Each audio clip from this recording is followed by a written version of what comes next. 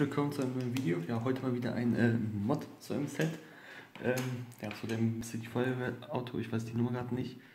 Ähm, ich hatte jetzt meine Teile normal, ich glaube jetzt sind wir auf jeden Fall knapp drüber. Aber, naja gut, ja, wir sind knapp drüber, würde ich sagen. Ähm, ja, an den Sachen habe ich nichts verändert, weil die werde ich, also das will ich irgendwie anders verbauen, aber nicht gerade. Die Minifiguren sind auch die gleiche Mini, weil die sind äh, einfach gut. Hier sieht man mal die Teile, die ich raussortiert habe. Können wir mal schrittweise durchgehen, was ich getan habe. Wir haben hier erstmal die vier, sieht man ja schon, hier gegen schwarze ausgetauscht.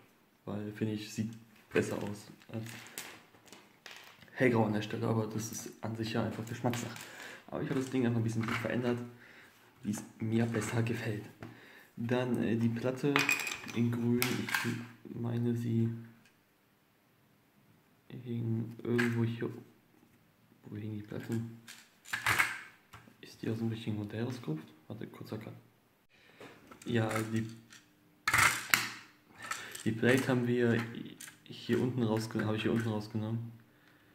Ne, halt. Äh, hier unten rausgenommen.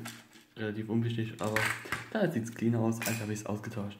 Genauso wie ähm, hier die beiden Stangen, die hier und hier sind, habe ich auch in schwarz gemacht, weil dunkler ist. Keine Ahnung, gefällt mir besser.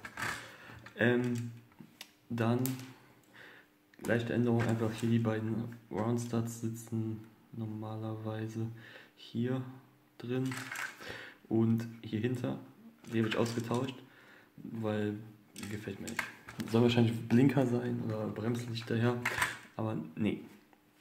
Äh, dann die Gr Grillteils habe ich ausgetauscht gegen graue weil es mir auch besser gefällt. Wo, sind die anderen beiden her? Na?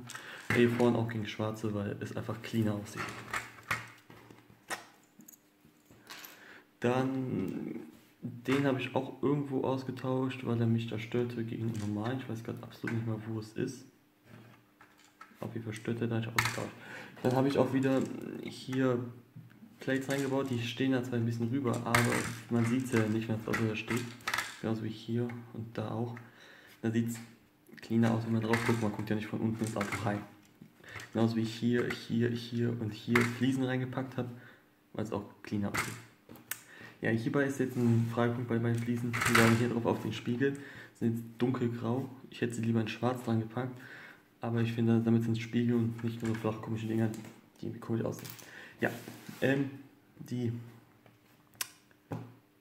grauen hier, Round Bricks, ich ausgetauscht gegen ähm, eine Round Plate und zwei M1 Plates.